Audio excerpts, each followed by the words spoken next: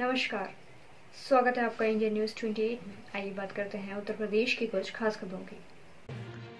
उत्तर प्रदेश के संबंध में कांग्रेस के पदाधिकारियों को किया घरों में हाउस अरेस्ट। महामारी के बीच लगातार डीजल, पेट्रोल, गैस एवं अन्य पदार्थों की कीमतों के संबंध में महामहिम राष्ट्रपति के नाम जिला मुख्यालय बहजोई पर ज्ञापन दिया। इस मौके पर कांग्रेस जिला अध्यक्ष विजय शर्मा ने कहा सौ रुपए पेट्रोल, एक सौ दस रुपए गैस सिलेंडर, नौ सौ पचास रुपए कीमतों में ऐतिहासिक वृद्धि हुई है। किसान धान की रोपाई के लिए बिजली न मिलने व डीजल की निरंतर वृद्धि से परेशान है। डीजल, पेट्रोल व गैस की मूल्य वृद्धि वापस कर जनता को राहत प्रदान की जाए।